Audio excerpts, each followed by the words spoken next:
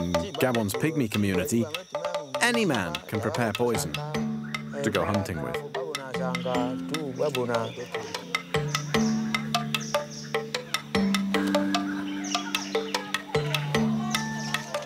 We mix the poison with crushed leaves and then apply it to the arrows.